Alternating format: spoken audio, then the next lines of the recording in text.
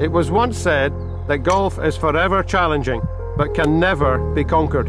And nowhere more so than at Carnoustie. It is forever challenging players, perceptions, and conventions. And rising to the challenge is how we grow, as players and people. It gives us courage to persevere and strive against all odds. Are you ready to take on Carnoustie?